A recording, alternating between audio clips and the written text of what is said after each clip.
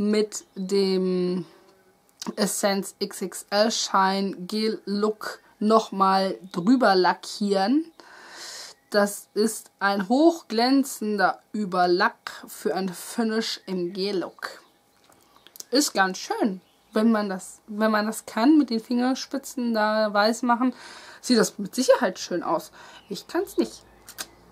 Deswegen sieht das bei mir immer kacke aus. Hat gar keine Farbe, übrigens. Ach, jetzt habe ich euch die Flasche gar nicht gezeigt. Und die hat auch keine Nummer. Nee, die andere hatte nämlich auch keine Nummer. Oder? Bin ich jetzt ganz... Nein. Bin ich doof. Ja, so. So. So. So. Gut. Ja. Meine Sammlung ist leer. Ich hoffe, ich habe das jetzt nicht zu viel runtergeraddert, aber ich bin ein bisschen in Hektik weil mein Freund da unten ganz alleine mit den Kitties ist und mein Baby ein bisschen hungrig ist und ich deswegen ein bisschen unter Zeitdruck stehe und ich hoffe, ihr verzeiht mir das. Das nächste Video wird bestimmt etwas weniger hektisch und ein bisschen länger.